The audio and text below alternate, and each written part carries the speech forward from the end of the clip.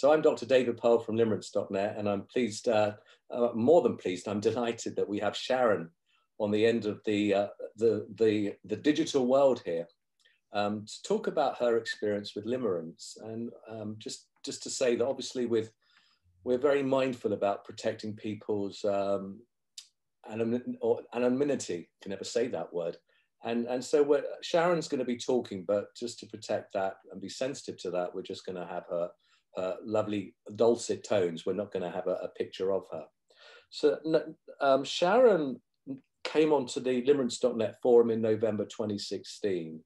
And I'm just going to let her introduce herself, tell her, tell you a bit about, about herself, where she is, and her age, and then we'll segue into her journey with limerence. And uh, so that's Sharon, over to you. Hi, David. Thank you very much. Uh, I appreciate the opportunity to be able to um, help other people move through the journey of limerence. Um, hello, everyone. Uh, I'm Sharon. My name is, um, I'm from Wisconsin. I'm 55 years old. Um, my limerent experience began when I was uh, 50 years old. It was kind of a combination of um, the midlife crisis, the menopause, all of that kind of rolled into one. Um, right now, I'm I'm I've been in it for five years, and which is actually a long time, um, given that it typically lasts about you know up to three years. Um, but um, so I, I, think I'm I'm really at the very end of it right now, and I am uh, in for the most part no contact right now. Um, so I'll just kind of start at the beginning and kind of go through this. Uh, I did make some notes on it, which hopefully will help me out here and you as well.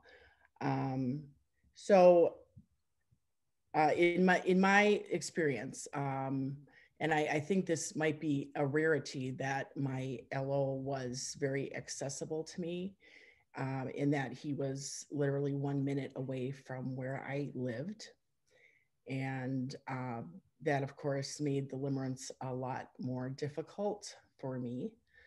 Um, so I'm kind of just go for, through the years here. So uh, I met him in March of 2016 and, uh, you know, found the, the, the forum uh, a few months later in November of 16. I would say from uh, 2016 until 18, that was really the point where I was very deeply into the limerence. Um, and then in 2019, um, I was divorced after being married for 28 years. And I would say uh, the limerence had actually highlighted other issues uh, within the marriage that I was really not aware of or didn't want to look at at that time. Um, so the reason there were a lot of reasons for the divorce, but um, the limerence was just kind of way, way down on the list. Um, and now um, the past two years, uh, been really working with, really working on myself and trying to shift the focus from the LO to myself and to do the heavy lifting and to do the inner work. Um, and now at present in 2021, there has been a reconnection with my ex husband uh, over the past several months. And it seems that now the fog has completely lifted, the rose colored glasses have completely been removed. And so, uh, what was there before has become kind of uh, reignited in a way. And this really has surprised me because I never really thought this would happen again. um, even though we we always remain to be friends, um, we do have a daughter um, together, but um, not not to the level that it is now. Um, it's a completely different relationship. Uh, the old foundation completely fell to the ground and was dismantled. Uh, I believe that we're working on a new foundation right now. Um, and we're both completely different people. Both of us have changed for the better. So um, so we're just gonna we're just kind of going with the flow and kind of seeing you know seeing what will happen. Um, Did your did your husband know about your limerence, Sharon? Yes, he did. Yes, um, I actually had told him about it right from the beginning. So um, about two months after I had met LO, um, you know, there were some some really just um, you know some red flags that had gone up, and you know, uh, you know the, the feelings that I started to have, and and just starting to think about him all the time you know i knew that something was not quite right. And yes i did uh, i did tell him about it right away. And um, initially his reaction was it's just kind of an infatuation and it'll just pass. And it's part of the whole midlife crisis thing and don't worry about it. It'll be fine um, and that actually throughout that throughout the time even though he had he had seen you know, he knew the LO and he saw what my reaction was to him.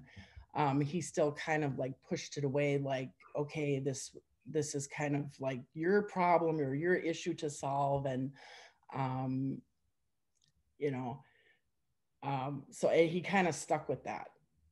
Right. So so at the end, I I really I really felt that he didn't do really anything to uh, to keep me in that marriage or to fight for me uh, with a third party threatening that. Well, so well, that's a that's a, just want to sort of I know I'm sure. interrupting here, but I think it's such a it's a commonly asked question, especially by partners of those with limerence, and that is, you know, what what should I do? And what would what could he have done in your mind that would have perhaps helped you um, kill kill the addiction, as it were, and moves that energy from the LO to back to your husband? Um, I think more of a willingness to uh, go to couples therapy, right. which I had suggested, but he he was really against it because he felt like he didn't need that. Um, yeah. So, yeah, that would be that would have been the number one thing. Um, and I think he really, I think he didn't realize how how big this was, how big of an issue this was. Um, and and for me to even admit that to myself that yes, I had yes, I was addicted to this person, um, much less admit that to him. um, so so yeah, but I would say the counseling would be the number one. Yeah. And and and also, you know, he he always told me that he never felt threatened by the LO, you know. He always uh, he was like, oh, well, you know, I'm so much better than him, or I'm this, or I'm that. There was no like, there was like absolutely no, no threat at all, which surprised me, which there should have been, you know. So, I mean, if the situation were reversed, absolutely, I would feel threatened. Yeah. So, um, and there was no, and and maybe part of that was because there was no, you know, there was no physical part with the LO. Okay, it was strictly emotional um, I think if if that would have been the case, then he probably would have went to therapy. He probably would have looked at it differently. Was he not worried that it might have morphed into a physical affair? Uh, I don't think he was worried about that. No. Okay. Yeah, I think we commonly see that that, that men men and these are generalizations that men are more hurt when they're wives are, are physically unfaithful, and it's the other way around that women tend to be more hurt when a man has an emotional affair. I know with my own wife, she actually the word she actually used was, "I'd rather you just fuck that woman and got it out your system than got emotionally uh, tra- uh, sort of uh, fixed to her." So I think that's a real a common yeah. issue. Yeah. Yes, absolutely. Yes, that would apply in my case. Yes. And then, so you so I'm curious as to the path of getting divorced. I mean, how did that how did that come about, and how did your husband react to that that whole process? Um, like I said, I was still I was still uh, in the limerence, so that was 2018. Um, but I knew if I had chose if I chose that option that it, it couldn't be because of LO. It couldn't be a, thinking that, you know, everything would be fine and I would be with him and live happily ever after. That couldn't be the reason for it. So then I started looking at the the other issues that had come up within the marriage and and actually thought about it for five months Um, and then from there, gave him a letter. It was a seven page letter and it had like 17 reasons why I wanted to leave this marriage. Um, and only two reasons to stay. And he had no idea. He had no idea that that this was coming, not at all. And uh, he read the letter and he was shocked. He was literally shocked. Um, didn't really know how to respond to it. Um, he thought I would never leave, quite honestly. So um, it actually took like three months for him to get used to the idea. And I had told him that he was not able to change my mind, that I had already made my decision, and that there was really nothing he could do at that point to change it. Um, so then after you know three months of kind of getting used to this idea then you know then we started you know we filed and and all of that it was joint and uh, worked worked on everything together you know it was a very, it was a very smooth process um you know working working with him you know to work everything out um. So he didn't get sort of uh, revengeful or, or try to triangulate your your child in the process or no like not no. It was very it was it was very it was a very smooth process and it was um like from start to finish it was five months so he just he, it sounds like he had no fight in him no no none and, and that and that too even though i had told him that um i wasn't you know that he wouldn't be able to change my mind i kind of thought in the back of mind that mm. he would you know that he would have yeah some anything, you know, any kind of I want to save this marriage. You know, we've been, you know, we've been married for 28 years. I want to save this. And there was nothing. And that surprised me. And so that in itself was like, okay, this is the right decision for me. Can you can you say a little bit about what some of the issues were that you were unhappy with in the in with your partner? Um, sure. Um, the well the number one the number one reason was not being the priority uh, the relationship not being the priority uh, in, in in over across many years um, there were always other people that uh, came before me or came before the marriage uh, before the before the relationship you know friends mostly family. Yeah. Um, and uh, there was an issue of of gambling as well. Right. Um, and I had I had kind of tried to, you know, compare the limerence to the gambling because again, that's an addiction as well. And he just really didn't understand how that was similar. Um, so that was that was another one. Um, not being emotionally available, and that was um, that was evident for many years in the marriage. Um, was not able to open up, was not able to share his feelings. Um, the communication in the last, you know, five years was nearly nothing. We didn't talk about anything. yeah. Uh, his, you know, his escape from from me and from the limerence was either the casino or the TV. Right. Um, so those those were the main the main ones there were there were more there were a couple more but um, those were the main ones yes so it sounds like i see this so often that his fear of, of going into his feelings and emotions was so great he would rather just the marriage end and not do some deeper soul searching as to what it was for him being a man to you know the, these scripts that we have as men to not fit not not to be emotional not to talk about feelings not and uh, it's such a common issue we see with the marriage counseling that we do.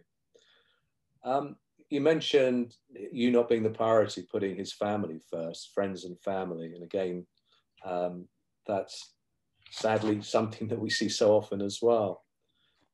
Um, and what about your, one of the things I'm always mindful of with limerence is that the moment we start thinking about our limerent objects, we're back in the addiction. And then this is the trouble with limerence. It's unlike any other addiction that if, you know, with gambling, you've got to go to a betting shop. With alcohol, you've got to get a drink to get your fix. With limerence, we don't need that. We just need to sit and think about our limerent object, and we're back into all those feelings. And I just this morning I was writing an article about the desire to disclose. And I was going back, and this is more than a decade now, to my own journey, and I could feel myself going back into the whole into the whole thing again.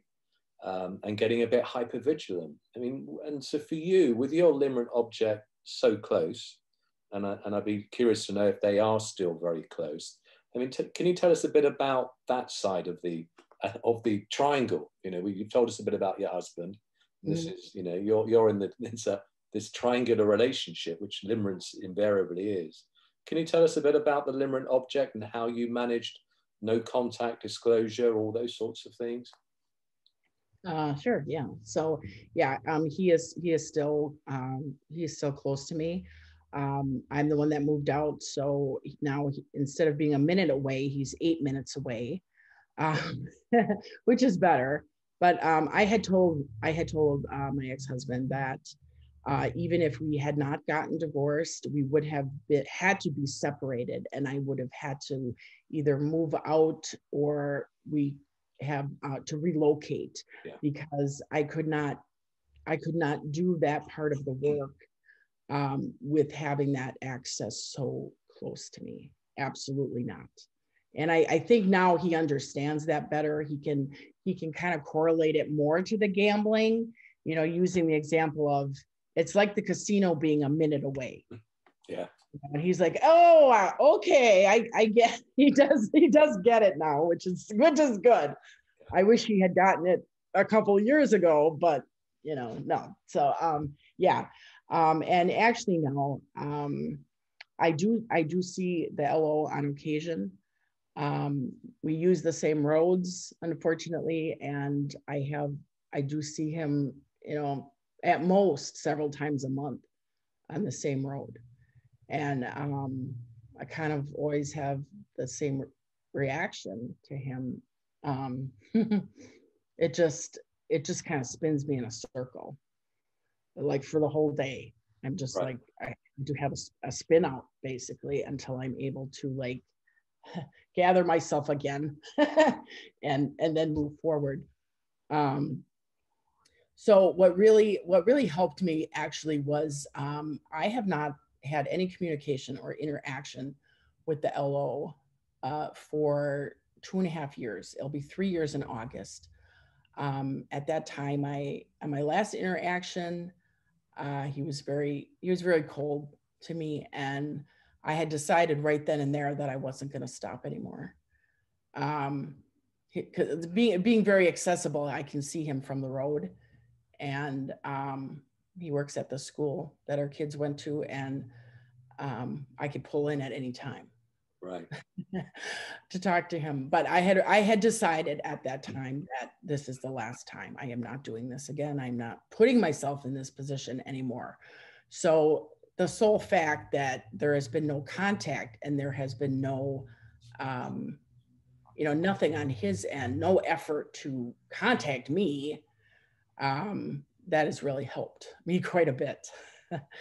um, so so anyway, um, so that's a good thing, and I, I'm I'm sticking with that. So you could have li- you literally just looked out of your front room window and got your fix, got your. Yeah, it was yeah, like I said, a minute. It was a minute drive away. right. Um, to pass by the school, and you know, yeah, I would see them. Yeah. Yeah well, that's that's hard.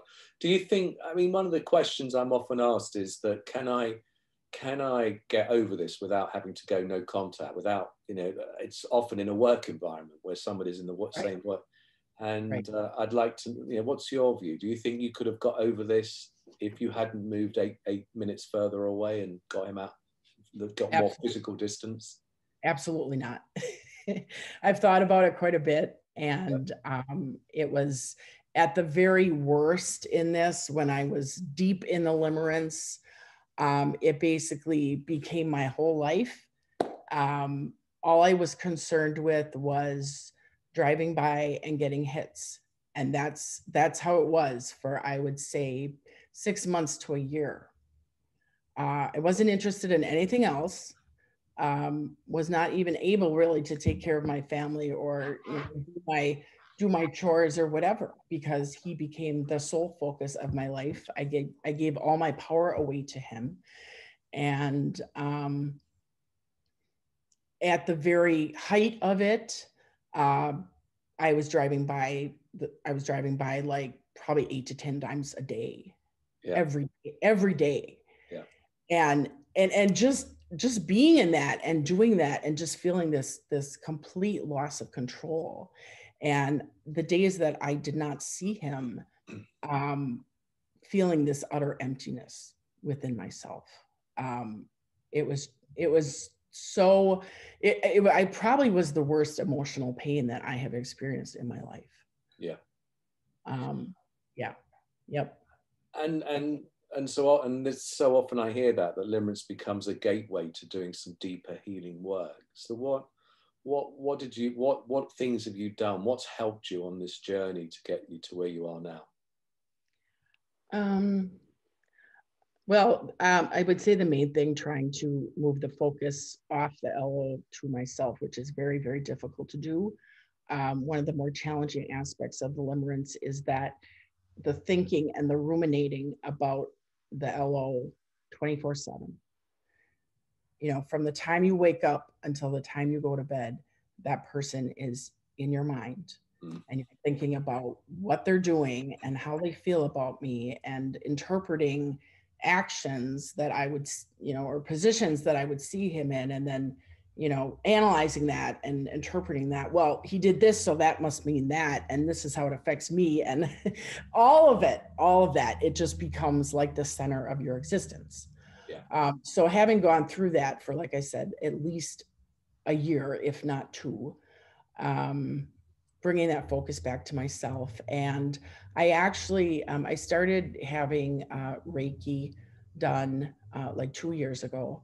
And that really helped me a lot um, you know with the energy component of it and you know that i was just pouring all this energy into this person and not into myself at all so um so she really helped me to um, to bring it back to myself and to look at what what he was triggering in me because there were there were so many triggers over such a long period of time that I was not even really aware of. Um, so, like for example, every time I would see him, I would um, I would just get really upset and I'd be really angry and I would start, you know, spewing profanity, and uh, I didn't know why. and so she helped she helped me to you know kind of figure some of that out. And um so main mainly you know the two the the two core wounds of abandonment and rejection. Yeah.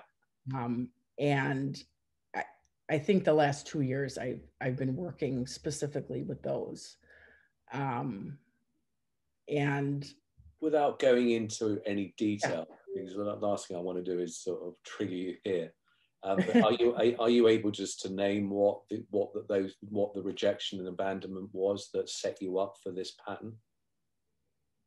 You mean from well from childhood? Well, like yeah, that? I'm, I'm, making an assumption it's child childhood. Oh, absolutely, yeah, abs- absolutely, yes, yes. Yeah. Um, well, I, I can use uh, the example of um, like rejection or um, being ignored. I will use that one because that one was huge right. um, which had actually happened right from the very beginning. Uh, when his SO was around, I was ignored, like I didn't exist. When she was gone, it was, hey, how's it going? Right? You know, so it was right from the very beginning like that. Um, and it has continued up to this point. So um, the like the last time that I saw him on the road, um, he was right in line with my vehicle. And, you know, I looked at him, make sure it was him, right? Yeah. He ignored me the entire time. This was like a 10 minute route, which I should have turned off, but I did not. Uh, he ignored me the entire time. And that just, it just every single time has struck me to my very core. Yeah. Because um, my mom ignored me a lot. Right. Growing up. Um, you know, like I don't have time for you. Go do something else. Or, yeah. um, you know, my mom was emotionally avail- unavailable as well. Um, so that that was a huge trigger for me. Um, and I'm still kind of working on that. Yeah. Um, and what about was was dad around at all? Was that what I'm sorry? Was your dad, your father, was he around in your life? Yes, he was around as well. Yes. How, um, how present was he? How emotionally present? Um, he was he was physically there, but um, not so much emotionally. No. Yeah.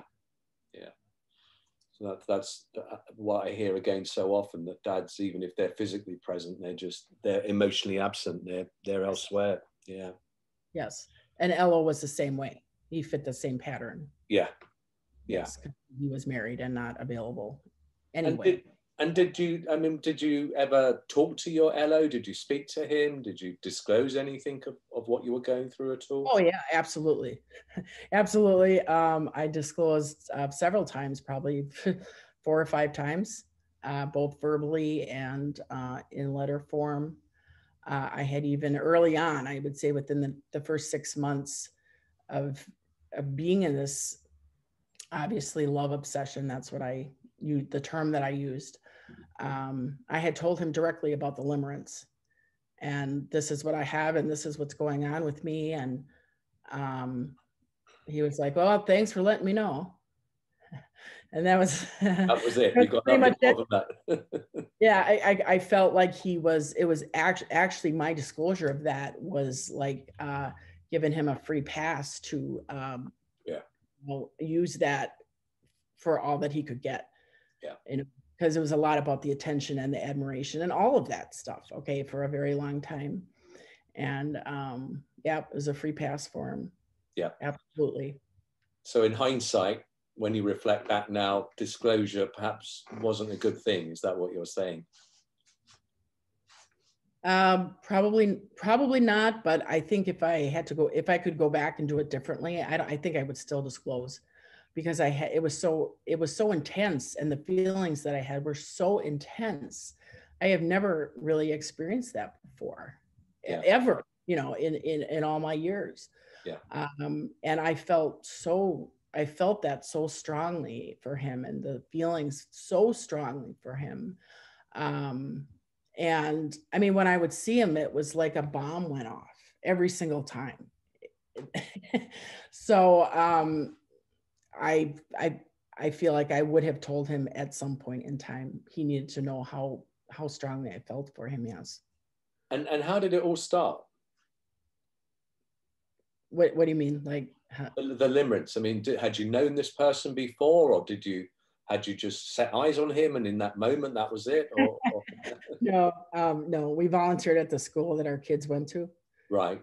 And, and so, uh, yeah, go, so met, met there. Yes, met there uh, both volunteers and you know there were events that we were always at you know we did uh, playground duty together and you know just started talking and just felt really comfortable at, with him very at home with him um, and just when i was with him i felt like electrified almost. It was like sticking my finger in a light socket Right. And I didn't I didn't know what that was. I'd never experienced that with anyone. Um, and so I would say it took probably about two months. And then at that point, I mean, that was that was part of the part of that process where you suddenly become very aware of how you are appearing to that other person, you know, spending more time on your clothes and and and getting ready for your interaction um, or rehearsing what I would what I would say to him for days before the actual interaction. And that was something that I had never done with with any other situation. And so that in itself was very foreign to me. Um, and was that energy there right from day one with him or did it gradually sort of grow upon you? It gradually did yes. Yes. Right. yeah. so yeah I would say like the first month it was like okay well you're nice to talk to and whatever and then and then after 2 months I it was weird. I I actually like heard a fl- uh, like a switch had flipped in me and I just stepped back and I was like whoa. Oh my goodness. Like yep you're you're it. You know you you are it. And and really from that moment that's when like the, it was like a limerence switch yeah. switched on and then you know, by then I, I had already like hit the floor. And then that summer, it was like summer vacation. And every day for three months, I thought about him every single day. So it just, it sort of crept up on you. And it was too, by the time you realized it was too late, the switch had been flipped. Yes, yes, yes. I, it was funny. I, I on May 4th, I had my 25th wedding anniversary. Everything was fine. I was fine. I was happy, right? Three weeks later, I was not fine. so yeah. And do you know anything about your LO that has helped you better understand yourself? What what perhaps early life wounds that you might mirror in each other? Do you know anything of that at all? Um, I well, I think um, you know, being well, I, I was kind of a combination of empath and narcissistic traits. Right. So I think I think the I think I mirrored a lot of the narcissistic traits in him that I was not even aware of. Um, I, I acted a certain way, but I didn't know why. Yeah. Um, for example, uh, and I, I, was very, I'm very different now than I was five years ago. Absolutely, it's a completely different person. And all of the traits that he brought to light, I no longer, they're like no longer there because I've healed them now. Um, but I would say, um, you know, I was very impulsive. I was very reckless. Um, I was controlling. I had to control everything and everybody, manipulative as well. I tried to manipulate him, but I think he was probably the master at that, and I was never successful like I kind of met my match on. it's exactly what my own therapist said to me. You're echoing her words. You've met your match. Somebody equally narcissistic. Um, yes. So, uh, so for you, it was like a real epiphany. It was a real uh, an awakening. Yes, absolutely. Yes. Um, yes, I now I, I do believe that he was the catalyst that I needed to you know, I, I did have a spiritual awakening as a result of of deliverance as as a result of this experience. Yes. Can you say a bit more about the spiritual aspects for you? Um, well, uh, I was raised Catholic. Right. And you know, I went to private Catholic schools. Um, you know, my whole life. Um, never really thought, never really knew about other religions being out there, or was was very um, you know that that was it you know?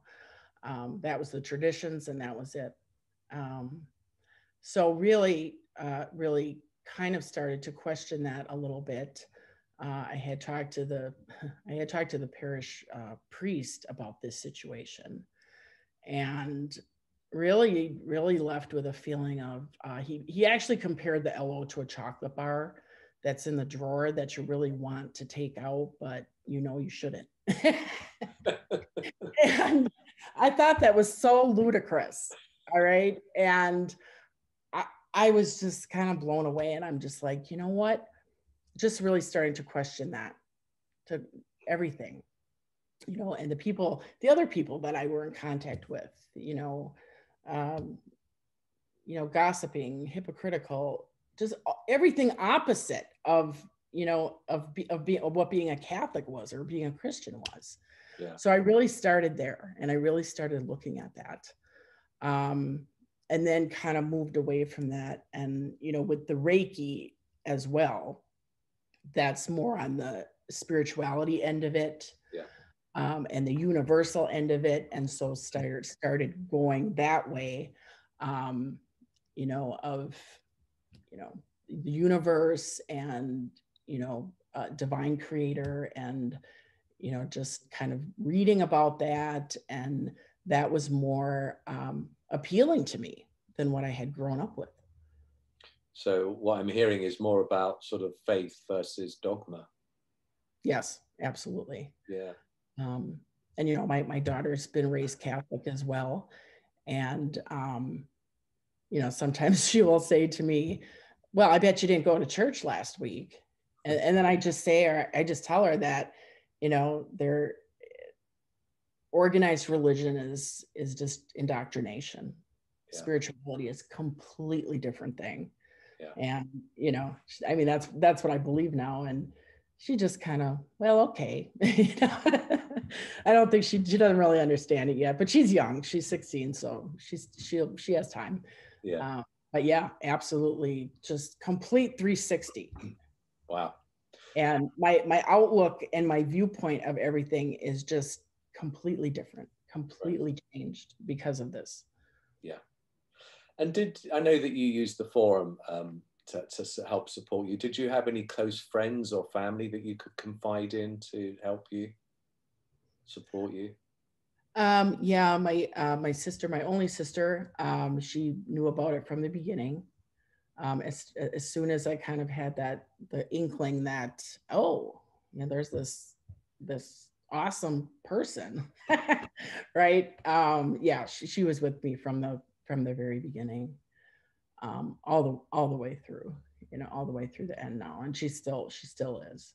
So yes, yes and how important was that for you to have somebody else that you could share some of this burden with yeah i mean i mean it was it was unbel- i mean i would constantly be i mean she didn't understand she didn't understand what that was like and all of that you know and so you know trying to explain it from that view but i think just listening just listening to me um, or you know when i would have a interaction with lo and you know i would just be like you know, really, really up there, wandering, wandering around, you know. um, you know, she she would just listen. That was the most important thing. And were there any books that really helped you on your journey? Um, I did. I did read, you know, quite a bit of, of books. I remember.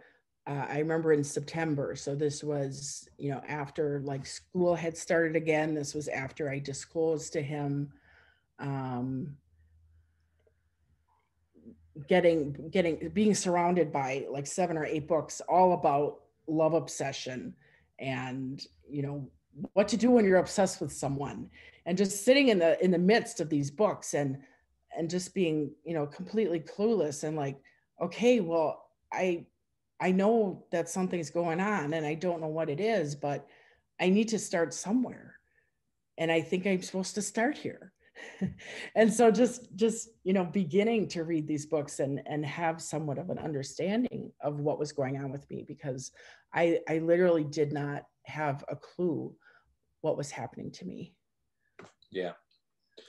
And what if somebody who's just developed limerence or just come across the forum or is listening to this this recording what what advice would you give to them um That's a very difficult question. Um, well, what would what advice would you give to yourself five years ago?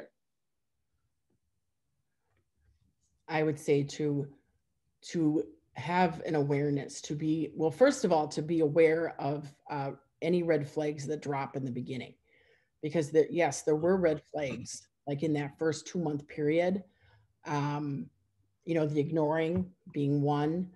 Um, but to not try to justify them right away. I mean, that's what I did. Um, or I just pushed them away. I just ignored them. Yeah. Flat out. Uh, not realizing that this would be such a that this would blow up and, su- and just be, be such a process or such a journey um, to definitely be have an awareness of those.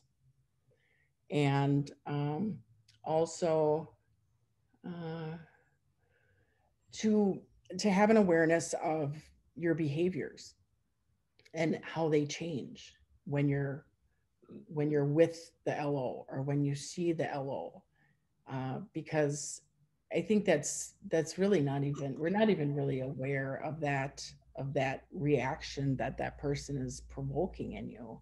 Yeah. I wasn't. Um, you know, I, all of a sudden I was just hit and I was like, you know, no idea what was happening. Um, so to kind of like have an awareness to prevent it from almost preventive to have it get to that next point of obsession because it happens very fast. It's like, it's almost like a domino effect. Yeah. that it just once one starts that that's it and i think once you're once you're in that obsession it is very very difficult to pull it back from there yeah. yeah we have to we only have a finite period of time and we have to know ourselves well enough to know that when we're getting that feeling that we we've got only a, a short window of opportunity to head it off at the pass to do a 180 turn away just avoid that person because we know they're going to be dangerous for us. Right and um, i really didn't you know i didn't know myself well enough yeah. either. Um, i really i was not you know i was a people pleaser i was a giver you know my whole life. And you know now learning to be on the the receiving side of that um, and to you know uh, to turn away from you know the codependency you know, all of that all of that stuff. Um, so so yes. yes. Yeah i've often described limerence as codependency on steroids. Yes absolutely. And i think I, I, think i suspect um, all all limerence all people with limerence are codependent to some degree or other um, I do have a question for you. I'm not sure if you could answer it, but yeah, um, sure. Yeah, turn the yeah. tables. What do you want to ask me? um, just you know, like I said, I you know this and this has been a really long journey for me. It's been five years, and like I said, I I'm I'm pretty much like I'm I'm in a good place with it. Um, but I do wonder, you know, is this is this going to be? I I think it'll be the limerence will be a part of me, you know, probably for the rest of my life. Um, yeah. But is there ever going to be a point in time where there will be no thought of LO that comes in, in on any given day? Because I, I haven't reached that point yet. Yeah. Um, I can only speak for myself um, okay. and, and obviously cl- the clients that I've worked with. I think when we've gone no contact, then after a period of time, and for me, I would say it was three or four years after no contact, and I was hmm. in contact for five years. So for nine years, for me, I think after about three or four years, there were periods, and I remember once going to uh, going to bed at night because that would be always the time where I would dwell on LO just before going to sleep. And I remember waking up in the morning and thought, oh, I hadn't thought of her. And now, I mean, I'm now what 11, 11 coming up for 12 years probably. I very, I very rarely think of her, hardly ever. Only, you know, if I'm working on the forum or doing, or working with a client, then then sometimes that might bring back some memories, or here just listening up to your story. But but it's very fuzzy, and I, it's so long since I've seen my limerent object that that they're not intrusive and they're not troubling. Um, so yeah, I believe that. Uh, but then I I think we also have to do that deeper psychological work, the grieving work as well you, know, you touched on on abandonment issues, and, and I, I think when we've worked on those and we know ourselves at a much deeper level, then it gets much easier.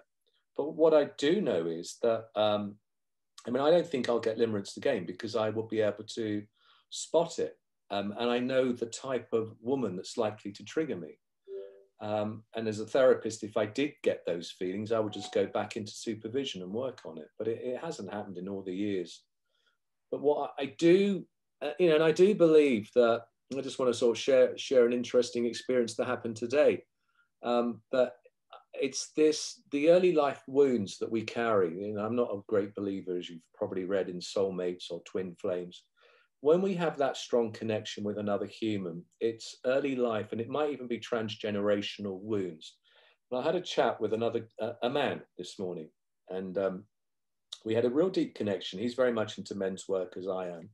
And we were sharing our stories, but in a really, tr- a really honest way. We were being incredibly open about our journeys, our sexuality, our pasts, um, male sexual abuse, which is a common, well, one in six men, and certainly it runs probably in my family, but in his family too. And we had a real strong connection. And I came away from that chat, and I was I was buzzing. I was energized from it. I got really um, fueled up. I could feel it. And it was a little bit like those feelings of limerence. But because it was a man and I wasn't attracted to him, there was none of that sexual energy there. Now, had it been an attractive woman and we'd had a similar, extremely open, honest conversation, that's just the situation where I could be back into into it. But I, I know I know to avoid those situations. I mean, I would never, as a therapist, I'm not disclosing that level of intimacy with a female client or, or a male client. Um, here I do um, to some degree because it's trying to help others. Um, so I think the more we know ourselves, the, the easier it is to deal with it. I, I still, you know, I'm, I'm a love addict at, at, at my heart. I always know I'm in, in the 12 steps, they talk about scanning a room, that when we're love addicted, we'll go into a room and, and um, a man certainly, he's always scanning to see if there's an attractive woman there. It's what we're wired, genetically wired to do that. It's an evolutionary mechanism to get us to procreate, and it's in all men. And, and I will notice a beautiful woman. I was at Costco this morning and I just noticed myself looking around at women. Um, nothing wrong in that. I'm a man, and, and when I stop doing it, that's that's when I'm going to worry because I've probably stopped breathing. but the thing is, it's knowing myself that I'll have a look for one or two seconds and that's it. Move on. Don't get too fixated. Um, and certainly, if it's in a social situation where there, there there's that energy there, um, I would move on. I, I, wouldn't be flirting, which which the old David would have done, to get my own narcissistic supply, in that in that situation. So I I think the more we know ourselves and the more time that passes, then yeah, eventually th- those feelings do do go. Um, it does take time, and that's the the other thing that I'm you know, I'm, I'm really interested about, and again, I had a chat with it this morning with this other guy, is, is the use of psychedelics and psychotherapy together. I mean, one of my biggest frustrations is, is that psychotherapy, counseling, coaching, it's slow work. It doesn't, changes don't happen quickly. Um, and there's some really fascinating research coming out that's, that's combining um, psychedelics um, like ayahuasca and um, psilocybin which is magic mushrooms, with, with psychotherapy for people that have very resistant addictions. And I just wonder if there's some some way there in the future when I think California is going to be legal or there's a, a move to legalize psychedelics in California. And I, I think I, I, wonder if there's with in the years to come that there's going to be more effective drug treatment programs to help people with resistant addictions. And uh, you know, and I've I believe limerence is the root of all addiction, and I think it's the mother of all addiction, or or love addiction, not necessarily limerence, but you know, it's that addiction to being seen and and and validated, which is at the root of codependency. Yeah, absolutely. I, I do agree with that. Absolutely.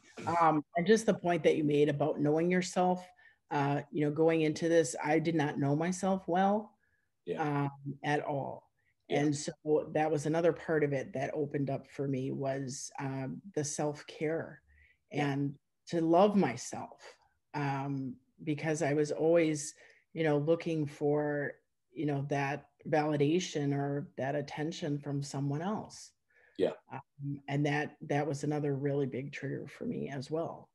Um, so just you know discovering that. And I and that's I think that is a, a lifelong process to to really love yourself and accept yourself as you are, um, and you know change the things that you are able to change and leave the rest.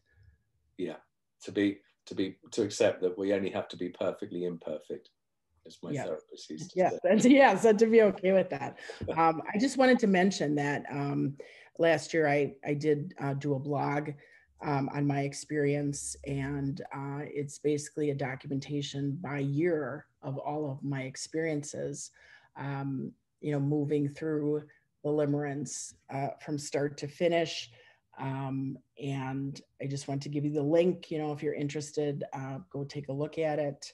Um, but you can really see the process and the progress uh, that is quite painful at times um, in, in moving through and uh, you know resolving this. Um, so the link is Soul Work Journey. It's all one word dot org.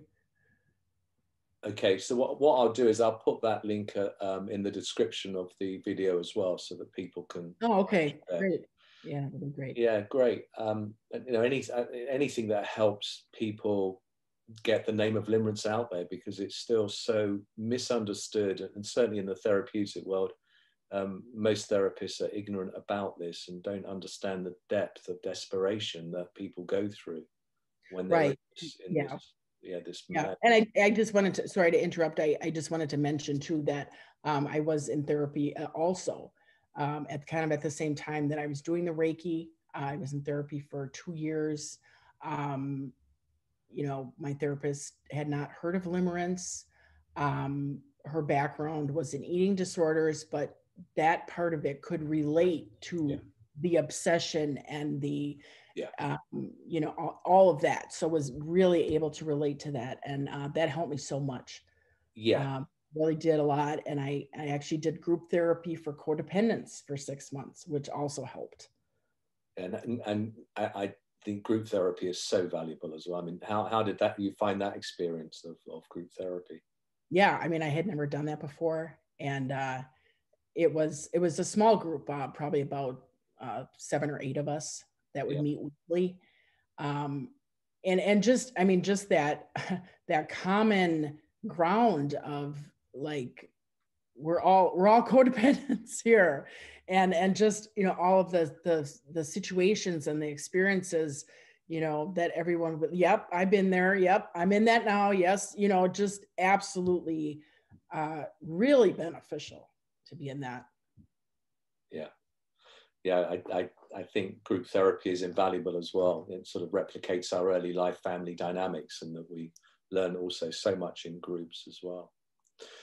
So we've been going nearly an hour and I sort of, sort of time to wrap up. Um, just, just sort of finally, just to bring it full circle. So you mentioned um, that you're back in connection with your husband or your ex-husband. yes Um, and sort of, do you have any thoughts about where to from here, or, or what you know? Where are you with all, the next part of your journey? Um, well, uh, the communication is uh, is it's really it's just unbelievable. We communicate more now than we ever did when we were married, and uh, he's a lot more open. And I think just from the experiences that he's gone through, and and actually me physically leaving, Yeah. um, has really you know changed him for the better. Um, and I still talk about the limerence. I, I still talk about you know the different aspects of it to him. Um, on the occasion that I do see LO, I talk to him about that. You know, and, and I think he understands it more because he's he's been hearing about it, you know, for all these years, um, and how that still impacts me. And we we talk about that, and you know, I ask for his opinion. Well, how can I do this differently, or what can I do to remove myself from that situation? Uh, he put a post in my car that says, um, disengage immediately. So like if you, you know, if you see him disengage, get out of there right away. Yeah. You know, don't even, don't even step into that. Don't even acknowledge that. So I have that. It's been in my car for like two months, which is really good. So he's actually helping me, you Yeah. know, with that, which is something that he was, he was not able or willing to do before. Um, so that, I mean, uh, discussions, you know, not just about limerence, but uh, anything and everything. You know, our daughter, it is absolutely know, 360 that it was before, um, and I think he he is he is becoming more available emotionally, um, which is a really good thing. So, um, and just spending time together, you know, just hanging out or going out to eat or watching a movie or whatever, and just enjoying being together. Um, And has, So- he done, has he done any deeper work on himself? Um, I I don't know. It's it's possible. Um, I I can say that before he used to be very negative. Like his like what he would say or his thoughts would be very negative. Um, and he's able to turn that around a little bit and look at things from a positive, more positive, like the glass is half full instead of half empty. Um, so I, I'm assuming that that's some kind of inner work, and I, I mean, it might be from my influence too on him Sure. regarding that, but I think that's probably the start of it. You know, the start of it. Yeah. Um, so yeah, so um, I Okay. Any other quick questions from you to me before we wrap up? No, I don't have any questions for you. Okay, great. Uh, I really appreciate you being so gracious and generous in your time, with your well, both your honesty and, and your time as well in, in the pursuit of helping others as well. And Absolutely. Great to hear your voice behind. Uh, I've obviously read some of your posts, so I know know of you on the forum, and I really wish you well wherever your journey takes you. Thank you very much. I appreciate that, David. Okay, go well, Sharon. Okay, bye bye. Okay, bye bye.